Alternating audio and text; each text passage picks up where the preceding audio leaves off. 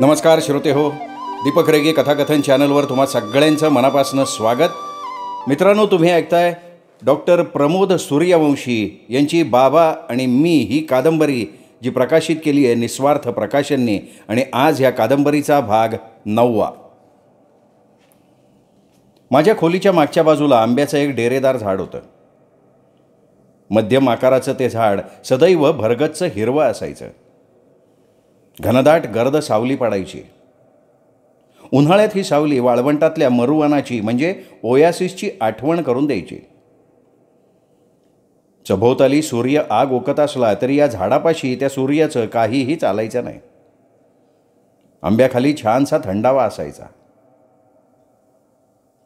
एखाद्या कडक रखरखत्या दुपारी मी कधीही न पाहिलेलं असं एक मनोहारी दृश्य त्या झाडाखाली बघितलं. असं दृश्य यापूर्वी मी कधीच पाहिलं नव्हतं. त्या डेरीदार वृक्षाच्या सावलीत अनेकविध जातीचे पक्षी एकत्र बसले होते. त्यात कावळे चिमण्या साळुंक्या टिटवी इत्यादी वेगवेगळ्या जातीचे पक्षी होते. सारेजण कुठलाही किलबिलाट भांडण वगैरे न करता शांतपणे एकमेकांना खेटून बसले होते. एरवी मात्र ते असे कधीच बसले नसते. समस्त मानव जातीला प्रेरणादायी ठरावं असं नितांत सुंदर दृश्य होतं ते. एखादी राष्ट्रीय आपत्ती यावी आणि आपापसातले सगळे मतभेद तंटे बखेडे विसरून सर्व जाती धर्माचे लोक एकत्र यावे अगदी तसंच लोभसवाणं दृश्य होतं ते. सध्या जागतिक तापमान वाढीचा विषय ऐरणीवर आहे. लोकांनी हा विषय किती गांभीर्यानं घेतलाय ठाऊक नाही. मात्र पक्षांनी तो खूपच गांभीर्यानं घेतलेला असावा असं मला वाटत होतं. ग्लोबल वॉर्मिंग या विषयावर ती सर्वपक्षीय चिंतन बैठकच भरलेली होती जणू. सोमनाथ प्रकल्पातले काही जुने जाणते लोक सांगत एक वर्षी इथलं तापमान अठ्ठेचाळीस अंश सेंटीग्रेडवर पोहोचलं होतं. हवेतनं उडताना अनेक पक्षी अचानक जमिनीवर पडत आणि गतप्राण होत. प्रचंड उष्णता आणि पाण्याविना पक्षी तडफडून मरत होते. करुणाघन बाबांना हे दृश्य बघवलं नाही. त्यांचं मन हळहळलं. ताटासारख्या पसरड भांड्यात पाणी भरून ती ताटं बाहेर अंगणात ठेवायला बाबांनी सगळ्यांना फरमानच काढलं. केवळ कुष्ठरोग्यांबद्दलच नव्हे तर पशुपक्ष्यांबद्दलही त्यांच्या मनात अपार दयाभाव वसला होता. बाबा जितके तामसी तितकेच संवेदनशील दयाळू मनाचे होते. सत्तावीस मार्चला दुपारी सिलिगुडी पश्चिम बंगाल इथून तानाजीला फोन आला. तानाजी माझा बालपणीचा मित्र. अकरावीत असताना सैन्यात दाखल झाला होता. सध्या त्याचं सिलीगुडी इथे पोस्टिंग झालं होतं. मे महिन्यात सुट्टीसाठी तो गावाला जाणार होता. जाता जाता मला भेटण्यासाठी सोमनाथला यायचं ठरवत होता. त्याला दोन महिन्यांची सुट्टी मिळणार होती. तानाजीबरोबर माझा नित्य पत्रव्यवहार असायचा पण खूप वर्षांनी आम्ही आज भेटणार होतो. मला खूप आनंद झाला. यापूर्वी त्याला मी कोकणातला दवाखाना बंद करून बाबा आमटेंकडे जातो आहे असं पत्रातनं कळवलं होतं. सोमनाथला तो मुद्दाम वाकडी वाट करून येणार होता. कदाचित प्रमोदनं संन्यास्त घेतला नाही ना अशी शंका त्याला आली होती. नेमक्या दिवशी तो बिनचूक आला. त्याला घेण्यासाठी मी मूलला गेलो. मला बघताच त्याचे डोळे पाणावले तो काही बोलला नाही. पण चेहऱ्यावर स्पष्ट नाराजी उमटलेली होती. प्रमोद संन्यासी बनलाय याची त्याला पुरेपूर खात्री पटली होती.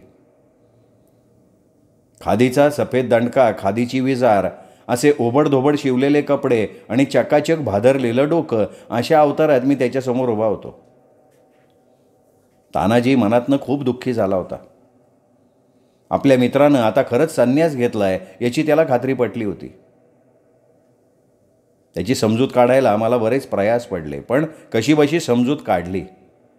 मग मात्र तो थोडासा सायलावला माझ्याशी मोकळेपणानं बोलायला लागला. पण तरीही अधूनमधून माझ्याकडे संशयी नजरेनं बघायचाच. मी मनातल्या मनात हसायचो. एक दिवशी आम्ही दोघं चंद्रपूरला सिनेमा बघण्यासाठी गेलो. त्यावेळी कहोना प्यार है हा चित्रपट प्रदर्शित झाला होता आणि सर्वत्र त्या चित्रपटाचा खूप गाजावाजा होत होता. उत्सुकतेपोटी आम्ही सिनेमाला गेलो. सिनेमागृहामध्ये सिनेमा बघून मलाही खूप दिवस झाले होते. सकाळी अकराच्या दरम्यान चंद्रपूरच्या स्टँडवर उतरलो. तिथून साधारण एक किलोमीटर अंतरावर ते सिनेमागृह होतं म्हणून आम्ही पायीच निघालो. आजही उन्हाचा कडाका प्रचंड जाणवत होता. घामानी कपडे ओलेचिंब झाले होते. चालताना अचानक माझ्या उजव्या पायात थोड्याशा वेदना जाणवल्या. पण तिकडे सोयीस्कर दुर्लक्ष करून आम्ही चालत राहिलो. पण थोड्याच वेळात थोड्याशा वेदनांचं रूपांतर तीव्र कळांमध्ये झालं. संपूर्ण पायातनं पेटके म्हणजे क्रॅम्प्स यायला सुरुवात झाली. पाय आखडला पाऊल पुढे पळेना. मी रस्त्याच्या कडेला बसलो. असं अचानक काय झालं ते मला समजेना कारण असलं दुखणं मी पहिल्यांदा अनुभवत होतो. पण नंतर लक्षात आलं की उष्माघातामुळे हे सगळं घडत होतं. कुठूनसं तानाजीनं सरबत आणलं मला पाजलं थोड्या वेळानं वेदना कमी झाल्या. पण पुढचा प्रवास रिक्षानं पूर्ण करून एकदाचे आम्ही सिनेमागृहामध्ये धडकलो. तोवर बराचसा सिनेमा संपला होता. समोर ऋत्विक अमिषाचा प्रेमरस उतू जात होता आणि इकडे माझा जीवरस आटला होता. सिनेमागृहामध्ये मी चक्क गाढ झोपी गेलो. आठ दिवस राहून तानाजी गावी निघून गेला. तेव्हा गावाकडच्या आठवणींनी पुन्हा पिच्छा पुरवला. पुढचे काही दिवस फार उदासवाणे गेले. दरवर्षी बारा ते बावीस मे हा कालावधी सोमनाथसाठी विशेष महत्त्वाचा असतो कारण या सात दिवसात इथे श्रमसंस्कार छावणी शिबिर भरवलं जातं. एकोणीसशे अडुसष्टपासून दरवर्षी कुठलाही खंड न पडता आजही हे शिबिर अव्याहतपणे सुरू आहे. शालेय शिक्षणाबरोबर श्रमाचं आणि संस्कारांचं महत्त्व युवकांना समजावं यासाठी या शिबिराचं आयोजन केलं जातं. शिबिरातनं गुणसंपन्न व्यक्तिमत्व घडावीत अशी बाबांची धारणा होती. हा उदात्त हेतू डोळ्यांसमोर ठेवून या शिबिराची संकल्पना त्यांनी मांडली आणि अस्तित्वात सुद्धा आणली. जॉर्ज फर्नांडिस नाना पाटेकर यांच्यासारखे असंख्य दिग्गज याच शिबिराच्या मुशीतनं घडलेत. राम मनोहर लोहिया पु ल देशपांडे मोहन धारिया यदुनाथ थत्ते आदी मान्यवरांचा वरदहस्त या शिबिराला नेहमीच लाभलेला होता. शिबिरासाठी संपूर्ण भारतातून विविध प्रांतातनं विद्यार्थी आणि सामाजिक कार्यकर्ते हजेरी लावत असतात. एकोणीसशे अडुसष्ट सालच्या पहिल्या वहिल्या शिबिरासाठी देशभरातून तब्बल एक हजार पाचशे विद्यार्थी इथे आले होते. त्यावेळी सोमनाथ इथे कुठल्याही सोयीसुविधा नव्हत्या अगदी रस्तेसुद्धा धड नव्हते. रानावनातनं वाट तुडवत सगळेजण आले होते. निवासासाठी पक्क्या इमारती नव्हत्या तरी सगळे उघड्यावर झोपायचे. हा आठवडाभराचा काळ मोठ्या उत्साहानं आनंदानं एकत्रितपणे व्यतीत करायचे. अगदी पहिल्या शिबिरापासून दरवर्षी बाबा आणि साधनातही आवर्जून उपस्थित राहत आणि सगळ्यांची देखभाल करत. पण एकोणीसशे नव्वदपासून सलग दहा वर्ष दोघं शिबिराला अनुपस्थित होते. कारण नर्मदा सरोवर आंदोलनासाठी ते मध्य प्रदेशातल्या कसरावदला जाऊन राहिले होते. पण ज्या वर्षी मी सोमनाथला आलो होतो नेमकं त्याच वर्षी बाबा आणि साधनाताई प्रदीर्घ कालखंडानंतर शिबिराला उपस्थित राहिले होते. माझ्या दृष्टीनं तो बिलवरी योगायोग होता. यावर्षीच्या शिबिरासाठी आम्ही सोमनाथमधल्या कार्यकर्त्यांनी जय्यत तयारी केली होती. एकूण नऊशे शिबिरार्थी आले होते. त्यात बहुसंख्य महाराष्ट्रीयन होते. दिल्ली मणिपूर केरळ आदी राज्यातनंही काही मुलं मुली आली होती. कोल्हापूरहून हेल्पर्स ऑफ हँडिकॅप संस्थेचे नऊ अपंग विद्यार्थी आले होते. चाकाच्या खुर्चीशिवाय हालचाल करू न शकणारी एक मुलगीसुद्धा त्यात होती. या सगळ्यांना घेऊन रेल्वेनं डॉक्टर शरद शिंदे डॉक्टर शर्वरी शिंदे श्री राजाभाऊ आणि सौभाग्यवती माधुरी गडमुड शिंगीकर आदी प्रभूती इतक्या लांब आले होते. मला त्यांचं विशेष कौतुक वाटत होतं कारण कौटुंबिक जबाबदारीचं ओझं डोक्यावर असतानाही स्वतःची लहान मुलं घरी ठेवून चौघे आले होते. दैनंदिन जीवनाला काही काळ बगल देऊन समाजासाठी फूल ना फुलाची पाकळी परत द्यायचा त्यांचा प्रयास खरंच कौतुकाला पात्र होता. हे सगळेजण आपल्या अस्सल कोल्हापुरी स्वभावामुळे सर्व शिबिरभर विशेष उठून दिसत होते. सगळ्या शिबिरार्थींना पहाटे पाच वाजताच उठावं लागे. सहापर्यंत प्रातर्विधी आणि चहापान आटोपून सकाळी आठ वाजेपर्यंत श्रमदानाचं काम करावं लागे. पाठ खणणे बांध घालणे तळी खोल करणे गाळ काढणे अशी कामं करावी लागत. आठ वाजता नाश्ता होई त्यानंतर पुन्हा दहा वाजेपर्यंत श्रमदान चालत असे. दहा ते अकरा ही वेळ आंघोळ कपडे धुणे अशा वैयक्तिक स्वच्छतेच्या कामाकरता दिला जाई त्यानंतर अकरा ते बारा वाजेपर्यंत जेवण आणि दुपारी दोन वाजेपर्यंत मग विश्रांती घेतली जाईल. दोन नंतर संध्याकाळी सहापर्यंत बौद्धिक चर्चासत्र चाले मध्ये चार वाजता चहा पान होई सहा ते सात फ्री हँड दिला जाईल. त्यानंतर आठ वाजता सार्वजनिक पंगत बसे. पंगत वाढण्यासाठी जिल्हावार दिवस ठरवून दिला जाईल. त्या दिवशी संबंधित जिल्ह्यातले शिबिरार्थी वाढपी म्हणून काम करत.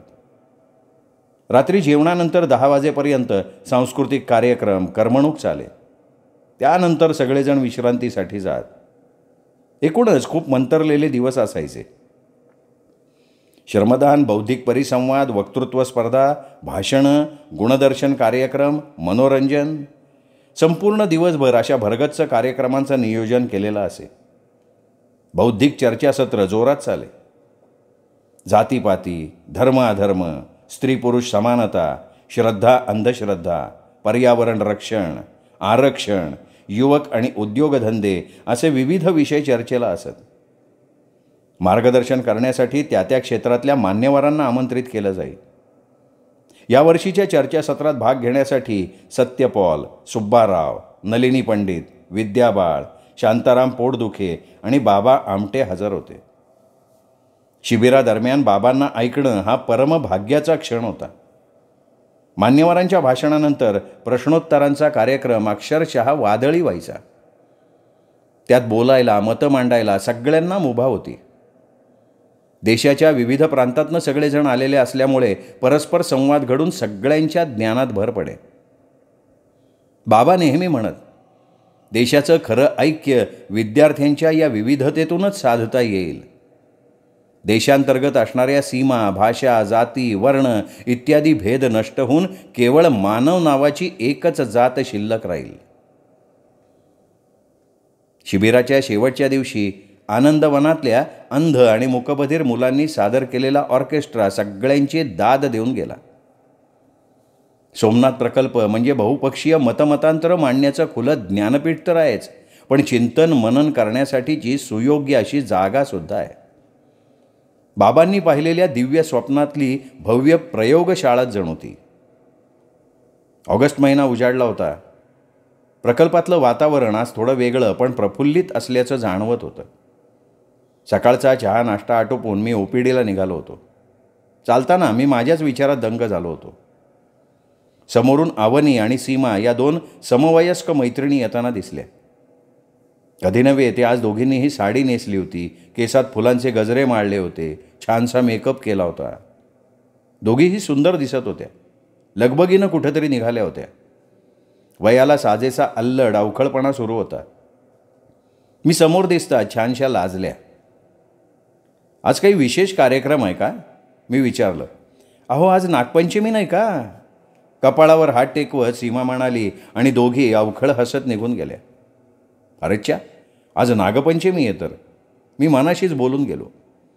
ओपीडीच्या दिशेनं मी भरभर चालत होतो पण मन मात्र उलट्या दिशेनं भरभर चाललं होतं. भूतकाळाच्या लाटांवर मन आरूढ झालं होतं. गत आठवणींना उधाण यायला लागलं. ती बत्तीस शिराळची जगप्रसिद्ध अशी नागपंचमी. प्रत्यक्ष जिवंत नागांची पूजा. घराघरातून मडक्यात सुरक्षित ठेवलेले साप त्यांची रोजची देखभाल देवता समजून त्यांची केली जाणारी पूजा ती तिथली नागमंडळं त्यांच्यात चालणारी ईर्ष्या प्रत्येक मंडळाची मिरवणूक पुढे जाण्यासाठी चाललेली चढाओढ वाद्यांचा होणारा खणखणाट गुलालाची उधळण. सर्वत्र केवळ जल्लोष आणि जल्लोष.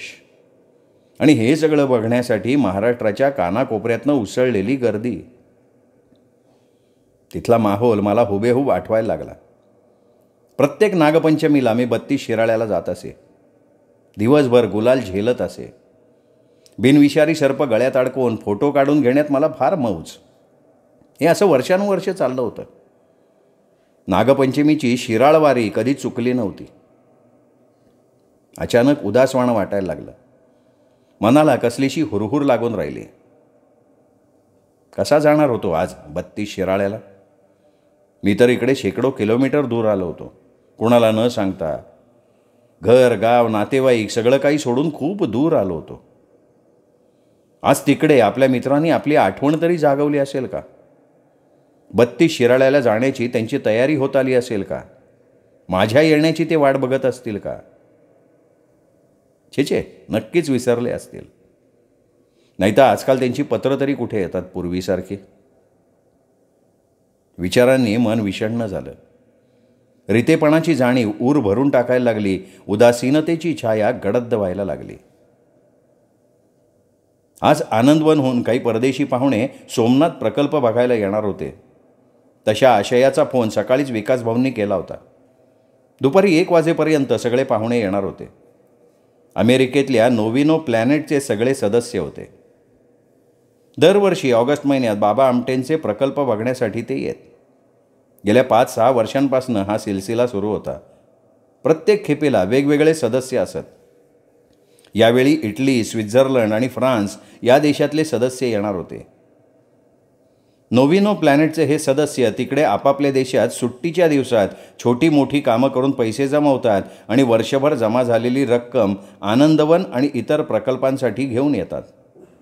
मग या पैशातनं इथे एखादी वास्तू उभारतात किंवा योग्य कामासाठी दान करतात. नियोजित वेळी सगळे सोमनाथला आले. एकूण सतरा सदस्य होते. सदस्य कसले? इथं सतरा अठरा वर्षांची शाळा कॉलेजची मुलं होती. सर्वजण बसमधनं उतरत होते. जणू सळसळता उत्साह सोमनाथमध्ये ओतला जात होता. आपल्याकडच्या मुलांसारखीच दंगामस्ती चाललेली होती. त्यांच्याबरोबर डॉक्टर उषा ही अनिवासी भारतीय डॉक्टर आली होती. ती बालरोगतज्ञ होती. मूळची तामिळनाडूची असलेली उषा अनेक वर्षांपासनं अमेरिकेत हाफकिन इन्स्टिट्यूटमध्ये काम करत होती. बालरोग तज्ज्ञ असलेल्या उषाला आनंदवन आणि बाबा आमटेंना पाहण्याची भेटण्याची तीव्र इच्छा होती. त्या ओढीनं ती आली होती. दुपारी सगळ्यांची जेवणं पार पडली. त्यानंतर मी आणि हरिभाऊ बढे सगळ्या पाहुण्यांना प्रकल्प दाखवण्यासाठी घेऊन गेलो. संपूर्ण प्रकल्प आणि सोमनाथ मंदिराचा परिसर सर्वांना आवडल्याचं त्यांच्या चेहऱ्यांवरनं दिसत होतं. ठिकठिकाणी थांबून त्यांनी खूपसे फोटोही घेतले. या दरम्यान त्यांची दंगामस्तीसुद्धा सुरू होती. आज ते इथेच मुक्काम करणार होते. दुसऱ्या दिवशी सकाळी डॉक्टर उषा एकटीच ओपीडीत आली. तिला आमचा दवाखाना बघायचा होता आणि त्यावर आधारित एक डॉक्युमेंटरी बनवायची होती. Hello doctor Pramod. Oh hi welcome doctor Ushaji. Please have a seat. तिच्या पदवी आणि वयाचा मान ठेवून मी माझी खुर्ची तिला देऊ केली पण तिने ती नाकारली आणि शेजारच्या स्टुलावर बसणं तिने पसंत केलं. अस्खलित अमेरिकन इंग्लिश वळणाची वाकड्या तोंडवळ्याची सुपरफास्ट एक्सप्रेस जशी धावायला लागली तसा माझा आ वासला ती काय बोलतीये तेच मला काही समजेना.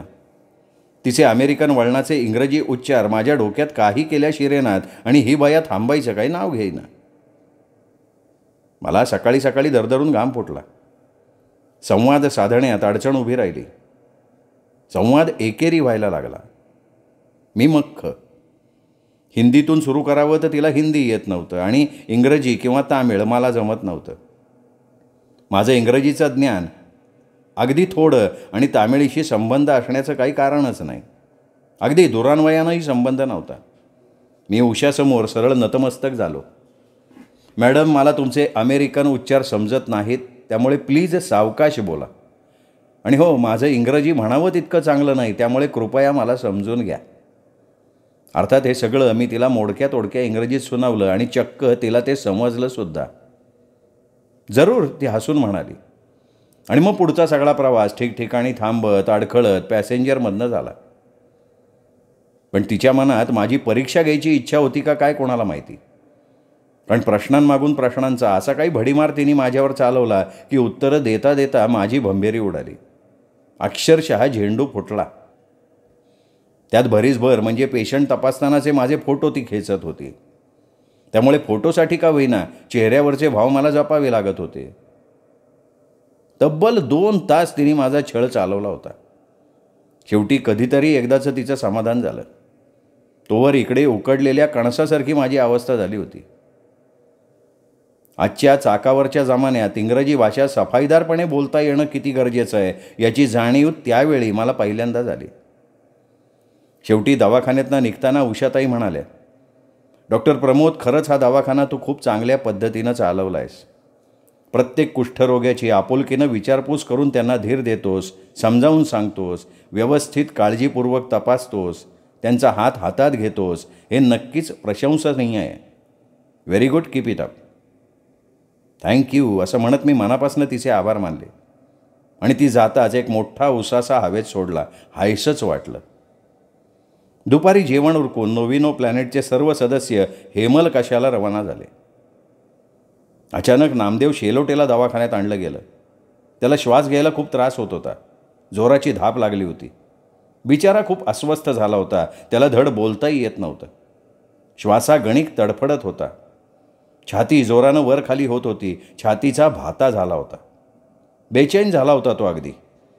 मी त्याला त्वरित ॲडमिट करून घेतलं. नामदेव हा बरा झालेला कुष्ठरोगी होता. पण अनेक वर्षांपासून त्याला दाम्याचाही विकार होता. न चुकता रोज धाप लागायची श्वास फुलायचा. हळुवारपणे शिट्टी फुंकल्यासारखा आवाज त्याच्या छातीतनं यायचा. अगदी न चुकता नित्य नियमानं तो ओ पी डीमध्ये औषधासाठी यायचा. त्याच्या नित्य प्रेझेंटीमुळे माझी त्याच्याशी घट्ट ओळख झाली होती. एक वेळ मुलांची शाळा चुकली असेल पण नामदेवचा दवाखाना कधी चुकला नव्हता. इथे तो एकटाच होता. आपल्या जीवाला कुष्ठरोग जाडल्यानं बायकोनं त्याचा कधीच त्याग केलेला होता. उरावर दगड बांधून तो जगत होता. सगळं दुःख पचवून तो पुन्हा उभा राहिला होता. दिलखुलास हसत होता. सगळ्यांशी प्रेमानं वागत होता. नामदेव खेळकर आणि दिलदार स्वभावाचा माणूस होता. पण आज अचानक तो अस्वस्थ झाला होता. बॅकरेस्ट दिली ऑक्सिजनचा मास्क त्याच्या तोंडावर लावला. तातडीनं स्टेरॉईडची इंजेक्शन्स दिली. सोबत अमिनोफायलिनची ड्रीप चालू केली. अँटीबायोटिक्सचं इंजेक्शन आणि डाययुरेटिकही दिलं. पण धाप काही कमी होईना उलट ती वाढतच चालली. शर्थीचे प्रयत्न व्यर्थ ठरायला लागले. पुढच्या उपचारासाठी त्याला तातडीनं शिफ्ट करण्याची गरज होती त्यासाठी वाहनाची व्यवस्था करायला एकाला पाठवलं. पण तोवर इकडे नामदेवनी मान टाकली. तो दूरच्या प्रवासाला चालला होता. बघता बघता फक्त दहा मिनिटात सगळा खेळ आटोपला. आपल्यामुळे कोणाला काही त्रास होऊ नये याची पूर्ण दक्षता त्यांनी घेतलेली होती. कॉटवर निश्चित पडलेल्या नामदेवकडे मी हतबलपणे बघत उभा होतो. मी एक डॉक्टर. आपल्या ज्ञानाचा गर्व बाळगणारा आणि सर्वत्र तो मिळवणारा. माझ्या ज्ञानाचा उदो उदो परस्पर होत असतो. पण एखाद्या प्रसंगी जेव्हा पुढ्यातल्या रुग्णाला मृत्यू ओढून नेत असतो तेव्हा मी काहीही करू शकत नाही. मग ते शल्य मनात बोचत राहतं. प्रयत्नांची पराकाष्ठा करूनही जेव्हा मृत्यू वरचढ ठरतो तेव्हा माझं गर्वहरण झालेलं असतं. ज्ञानाचा मोहर पार झडून गेलेला असतो. अनेक अनाकलनीय गोष्टींचं गूढ तसंच गुलदस्त्यात राहून जातं. आज मृत्यूवर विजय मिळवण्यासाठी मानवाचा प्रचंड खटाटोप चालू आहे. त्यासाठी तो अवरत आहे भविष्यात त्याचा हा प्रवास यशस्वी होईल किंवा नाही होणार पण या घडीला नामदेवसारख्यांच्या निश्चित देहाकडं पाहिलं की हतबलतेची असहाय्यतेची जाणीव मनाला पार पोखरून टाकते. माणूस मग तो कोणीही असू दे. एक मर्यादित आयुष्य घेऊनच जन्माला आलेला असतो. मापलेल्या आयुष्यात तो शाळा शिक्षण नोकरीधंदा लग्नसंसार मुलं बाळं घरदार गाडी बंगला असे जीवनभराचे सगळे उपद्व्याप करून शेवटी निघून जातो. शाश्वत सत्य कोणालाही चुकलेलं नसतं. जन्माला आलेल्या प्रत्येकाला अखेर मृत्यू घेऊन जातोच. मग असं का बरं होत असावं? अंतिमत मृत्यू ठरलेलाच असेल तर निसर्ग इतके सगळे उपद्व्याप मानवाकडून का करून घेत असेल? मानवाला एवढं खेळवून मारण्यामागे निसर्गाची नेमकेपणानं काही भूमिका असेल का? मानवी जीवनाचं नेमकं प्रयोजन काय बरं असावं? खरंच काही कळत नाही. श्रोते मित्र हो हा होता नववा भाग. हा नववा भाग इथेच संपला. दहावा भाग उद्या तोपर्यंत नमस्कार मित्र.